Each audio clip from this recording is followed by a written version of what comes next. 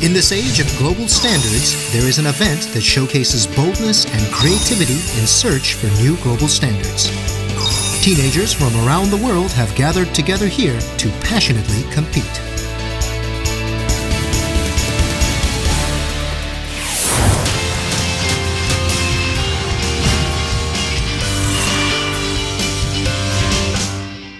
The Korean Standards Olympiad was first held in 2006. The main competition featured 30 middle school teams, 30 high school teams, and four Malaysian and Indonesian teams.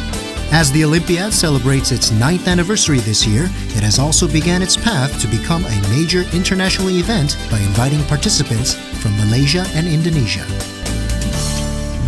In August of 2014, the ninth Standards Olympiad finally began, celebrating young people's boldness and creativity as well as passion for science.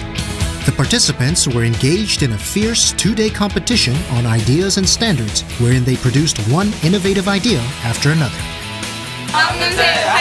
파이트! 파이트!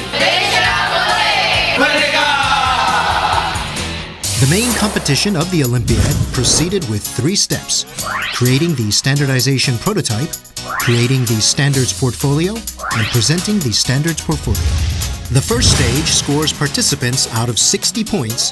The second stage scores participants out of 30 points. In the final stage, participants are given up to 10 additional points for how well they would present their inventions. Participants became curious as they listened to their instructor. They were so absorbed in the process that nothing seemed to distract them. This year's Olympiad required middle school participants to standardize various signboards using simple pictograms. High school participants, on the other hand, were given a more difficult task to create scientific water taps that can minimize water wastage. Participants cooperated with each other and began thinking of solutions. They readily dedicated themselves to the tasks at hand. Middle school participants were evaluated in terms of how many of the 12 types of signboards they were able to complete, including the visibility, originality, and efficiency of their designs. High school participants were evaluated on many factors whether their taps could adjust to the amount of running water in five or more phases, whether the phases clearly differed in their amount, the pragmatism and originality of their ideas, and the efficient use of the given materials. Soon, we began to see how busy the participants had gotten. One by one, the teams began to reveal signboard designs of various shapes and practical yet unique prototypes of water taps.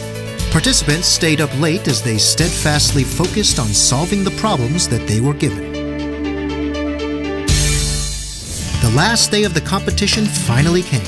All the participants looked nervous as they await the final phase of the competition portfolio presentation. Participants began to present their works before an audience of fellow participants and judges. They surprised the audience with their originality of their presentations how calmly they handled the judges' difficult questions. They were amazingly creative.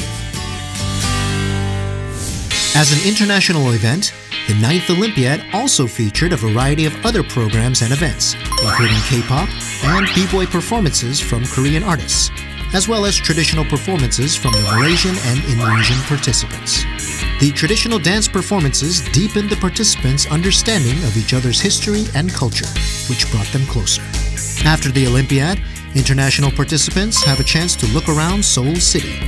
They visited Korean historical places and watched famous Korean Nanta performances.